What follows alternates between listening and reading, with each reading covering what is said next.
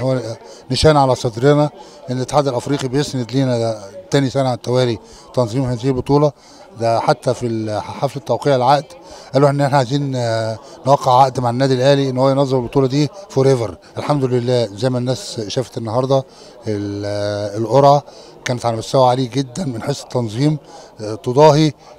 أي قرعة بتقام في الاتحادات الدولية بالنسبة لكأس عالم أو بطولات عالم أو أولمبياد من الناحية الإلكترونية وظهور الشاشات وكيفيه إجراء السحب.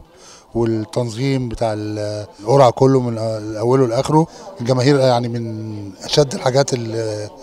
بيخليني يعني سعيد جدا جدا جدا. يعني ال- الخبر آه، السماح لعودة الجماهير بالدخول في المدرجات آه، ده خبر أسعدني جدا لأن فعلا الجماهير مكانها المدرجات. المنافسة قوية وشديدة آه، ومش هتبان إلا داخل الملعب في فرق الكينية فرق قوية جدا في فريق فرق شمال أفريقيا سواء الجزائر أو تونس ولكن إحنا ثقتنا كبيرة جدا في اللاعبات بتوعنا وفي جهازهم الفني الكفء وبقول إن هم قادرين على إحراز البطولة واداها لجماهير النادي الأهلي كلهم